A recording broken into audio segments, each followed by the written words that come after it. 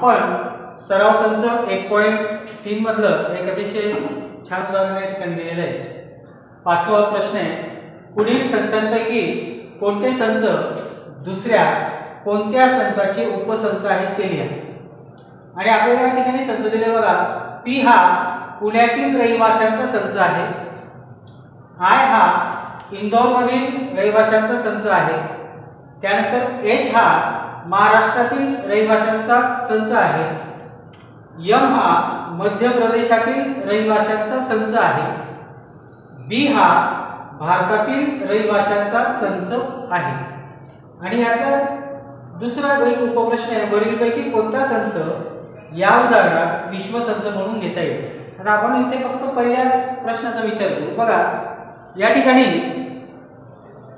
P हा पुण्यातील रहिवाशांचा संच आहे. आता जी लोक पुण्यामध्ये राहतात ती लोक महाराष्ट्रात पण राहतात. म्हणजेच पी हा जो संच आहे तो यच म्हणजे महाराष्ट्रातील लोकांचा जो संच आहे त्याचा उपसंच आहे.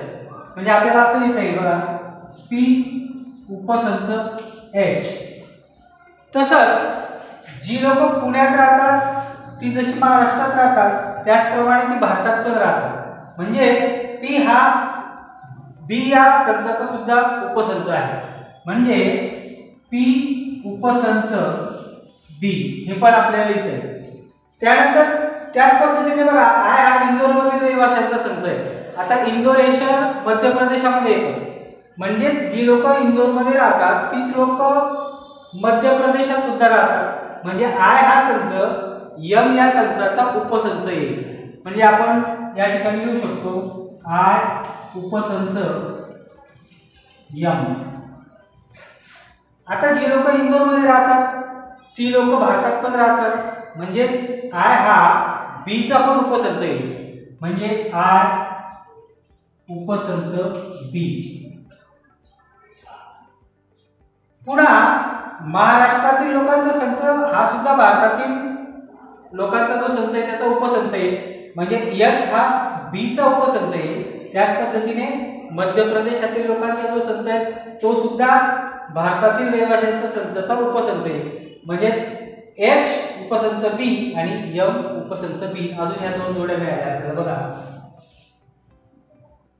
एच उपसंच बी आणि यम उपसंच बी तर या पद्धतीने या पहिल्या उपप्रश्नातील आपण उपसंच लिहिले. आता दुसरा प्रश्न बघा. वरीलपैकी कोणता संच या उदाहरणात विश्वसंच म्हणून घेता येईल?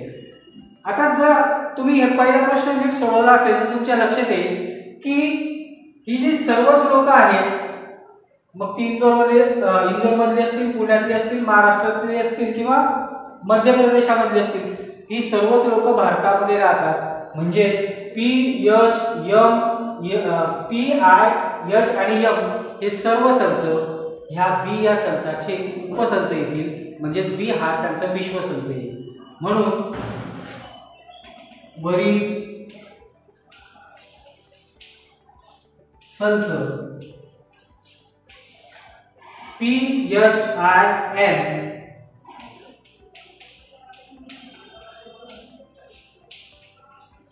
या संचांचा संच बी हा.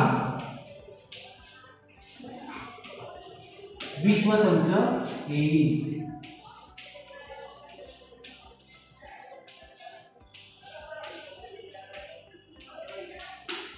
तर या पद्धतीने या उदाहरण सराव संचामधले इतर उदाहरणं तुम्ही अतिशय सोपी उदाहरणं आहेत ती तुम्ही घरी सोडवू शकता.